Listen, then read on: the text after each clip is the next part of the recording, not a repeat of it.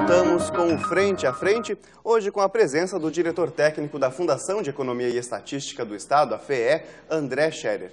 E para entrevistá-lo, contamos com os jornalistas Antônio Zamansky, apresentador da TV Assembleia, Sabrina Tomasi, apresentadora da Rádio Gaúcha, e Samantha Klein, repórter da Rádio Guaíba e do Jornal da URGS.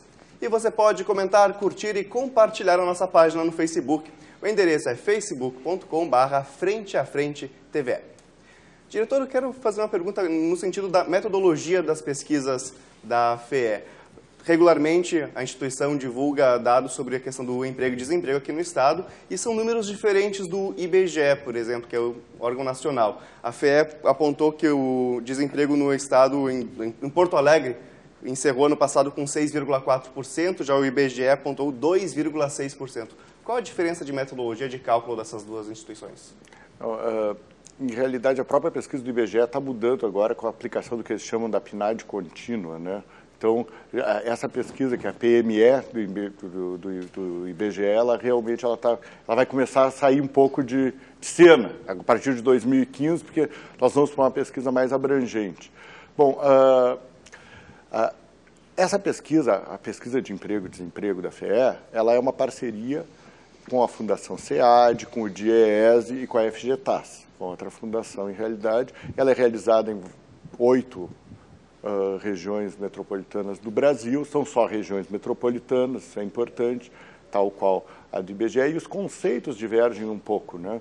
Em realidade, o conceito do IBGE é menos abrangente em termos do que, que seria o desemprego, e o conceito utilizado pela PED é um pouco, PED, né? PED da FIE e dessas outras instituições, a metodologia é da Fundação SEAD, é uma pesquisa de 20 anos, né? completou 20 anos também no, no ano passado ou retrasado, e uh, ela, é, os conceitos são distintos. Então, os resultados acabam sendo distintos. Né? Quando tu perguntas quem é que está desempregado, quem é que, quem é que realmente uh, procurou emprego naquele momento, é computado muitas vezes o um emprego precário, no caso da FE, é computado como desemprego, né? quem não, não trabalhou em tempo total, então, é, é, por isso essa, essa diferença em termos dos, dos números, né? Uh, o que é um emprego precário que você acha? Como é que é? Não, em realidade, quem não tem uma ocupação tempo integral, aí tem que olhar a metodologia uhum. com detalhe, mas, mas enfim... isso inclui uh, a ocupação uh, informal também? A, o, o, o, emprego formal, informal é, é dividido, informal, é, é, isso a gente tem essa divisão, né? Você sabe o que é formal, informal, com carteira, sem carteira, uhum. que dá mais ou menos essa ideia do emprego formal e informal. Quem é autônomo, né? Mas, por outro lado, a... o que, que você estava me perguntando? A questão se inclui o emprego. O, é, o quem está empregado informalmente, está numa atividade informal, não está desempregado. Quem está, né? Mas, por exemplo, Agora, assim, um se vendedor eu ambulante, que, que, um vendedor ambulante, é autônomo é em geral. Se ele autônomo. trabalha oito horas, se ele trabalha, uma, a questão maior é a quantidade de horas, se trabalhou continuamente. Sim. Então, muitas vezes no IBGE a pergunta vem no sentido, teve alguma atividade remunerada na semana anterior, por exemplo, não está desempregado. Estou dando um exemplo uhum. de como ela pode vir. Sim. É mais fria. E, e, na FEE, não, na FEE também é a mesma ideia, mas uh, uh, não é, é, com esse grau de limitação.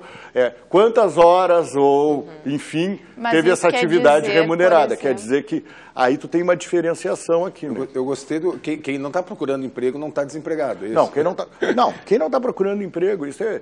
Até teve uma polêmica agora, mais recentemente, quando a divulgação da PNAD contínua. Ah, mas significa que 41% das pessoas, então, não procuraram um emprego? Sim, elas são aposentadas, elas Sim. têm 90 anos, elas, elas têm 14 anos, elas, têm... São Vocês reparam? Elas não têm que procurar emprego realmente, 90%. Isso é assim em qualquer lugar. 59% do brasileiro procura, faz parte dessa desse público que pode estar apto a a pesquisa já consegue emprego. visualizar a geração neném que vem surgindo, do nem trabalha, nem estuda? Sim, em certo sentido. A gente tem alguns estudos ali que eh, mostram o que, que, é isso. O que acontece é, é, é, tem uma geração entre 15 e 16 anos e 18, por aí, a gente tem notado que cada vez mais, exatamente, eles saem da PEA, desse pessoal que procurou emprego naquele período, aquele pessoal que, que, está no mercado de trabalho. Então a gente tem, aí tem várias causas, né? Uma ampliação da escolaridade, uma causa positiva, né? Uh, mas, por outro lado, a gente vê também um certo refluxo, não na pesquisa de emprego e desemprego, em outras uhum. pesquisas, na continuidade do, do, estudo no segundo grau, que poderia, de, em parte, caracterizar. Eu acho que, sim, é muito midiático, né? É, é bonito falar nem nem, né?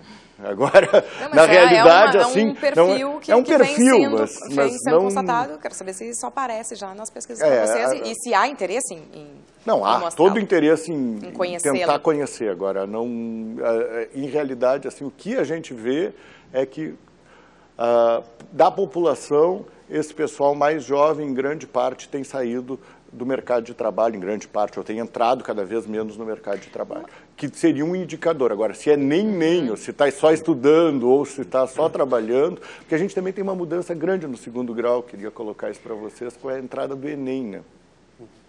Isso é importante, que dificulta, muitas vezes pode ser conhecer, e não é nem nem, é o Enem. É, o Enem. Uh, uh, porque o que, que o Enem faz? O Enem faz com que aquela pessoa que está com dificuldade, ou sei lá o quê, pode só esperar até 18 anos e prestar a prova e concluir o segundo grau. Então, pode ser racional para alguns jovens prestar a prova do Enem. Só estou colocando uhum, uma hipótese uhum.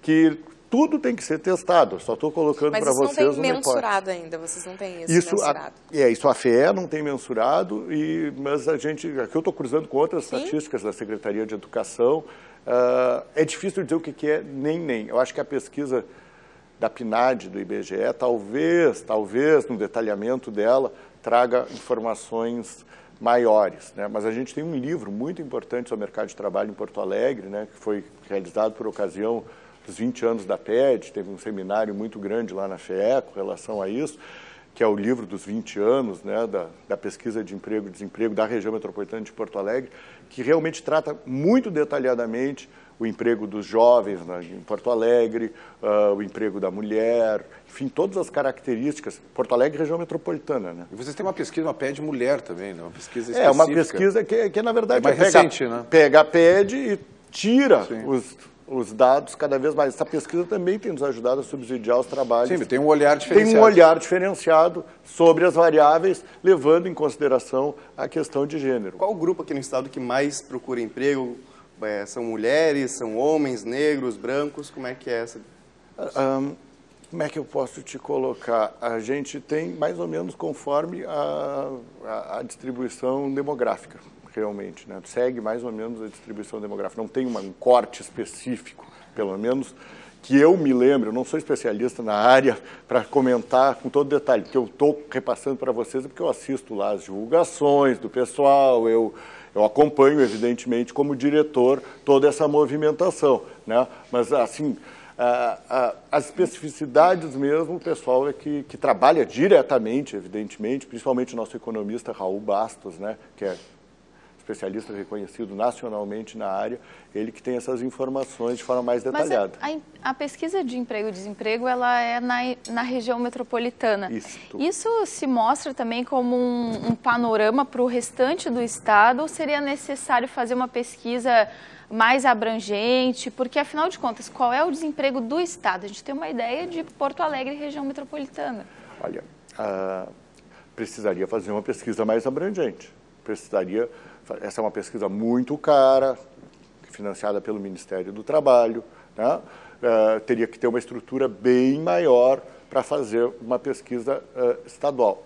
Em parte, agora, esta PNAD contínua do IBGE vai, em parte, nos dar um indicativo para os estados melhores. Eu não sei até que ponto eles vão abrir estadualmente, mas veio o desemprego da região sul, por exemplo. É importante a gente ver que essa pesquisa que saiu agora, essa da PNAD contínua, sobre emprego, ela mais ou menos confirma o panorama, mostra o acerto, não nos números, mas na tendência. O que, que mostrou essa pesquisa? O Nordeste com taxas de desemprego bem mais elevadas.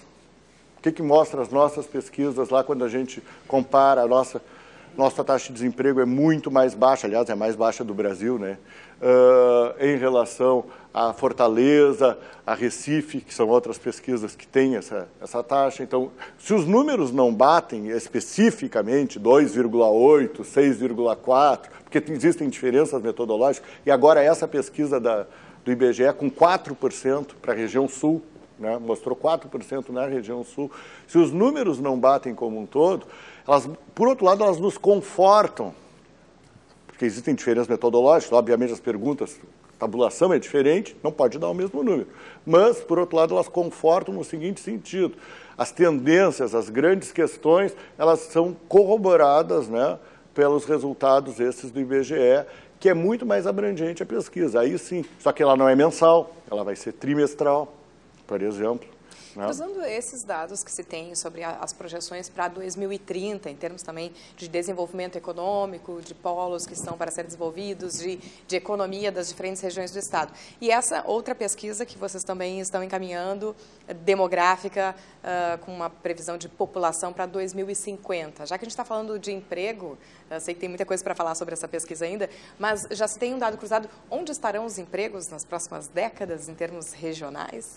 Olha, uh, o que a gente tem visto em termos de emprego, com base em outras pesquisas, daí mais assim, levando em consideração o emprego formal, um trabalho que foi feito lá na FER, vocês devem estar pensando, enfim, tem muitos trabalhos mesmo, uh, e, e pessoal que está em casa, né, tudo disponível no site da instituição, né, quase todo o trabalho da história dos 40 anos, está todo ele digitalizado, muito poucos trabalhos estão fora do site, né, para acesso gratuito. Agora, o que a gente tem visto é que os melhores empregos começam a se espalhar um pouquinho, saem um pouco do eixo Caxias, Porto Alegre, os empregos mais ligados às áreas tecnológicas uhum. e tal, e começam a ir um pouquinho em direção a Passo Fundo e a outros uh, eixos uh, de agronegócio, mas de agroindústria. Né? Uhum. A gente começa a ter...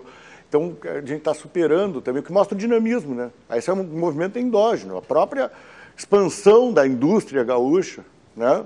Está levando a um certo, está levando, é, eu diria assim, tu tem a metal mecânica começa a migrar um pouquinho, a espalhar, não é migrar, sair de um lugar e para o outro, mas a, a avançar para outras regiões também, Erechim, Passo Fundo e outras regiões, fazendo uma espécie de um arco no mapa do Rio Grande do Sul. Começa a fazer isso é um movimento que está acontecendo agora mais recentemente, aí de quatro, cinco, uh, oito anos para cá, né? o que em termos históricos é, é pouco. Então, mostra um certo dinamismo. Então, a gente tem assim um pouco desses empregos indo.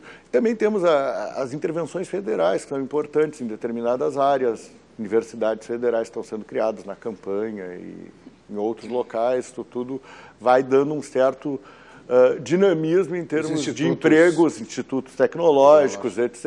Então, a gente tem assim, um certo movimento interessante em torno da criação de oportunidades de trabalho também no interior. Isso em Sim. termos de, de trabalho... As, uh... Qualificado, né, estou colocando. Mas e daí quando se fala da distribuição de população, né, de como estará distribuída em 2050... Uh, isso é o que se tem, né? É o que se encaminha. Estamos vendo distribuição de trabalhos e, e, é, e postos importantes sendo abertos em locais. E onde é que se precisam criar postos para qualificar e sustentar, onde a população de fato estará a partir do estudo que vocês têm para 2050? É, o estudo para 2050 ele não mostra isso. O 2030, sim, esse que a gente vai divulgar, ele, ele não diria assim, responde a tua questão, que a tua questão ela vai ser mais respondida pela Secretaria do Planejamento com aquela outra interação que eu coloquei mais à frente, mas o, o, o estudo que a gente uh, tem para 2050 ele é da demografia realmente é ele não está localizada, ela não está localizada no mapa. No 2030, sim, estão, elas estão localizadas no mapa, até 2030, por faixa de idade, né?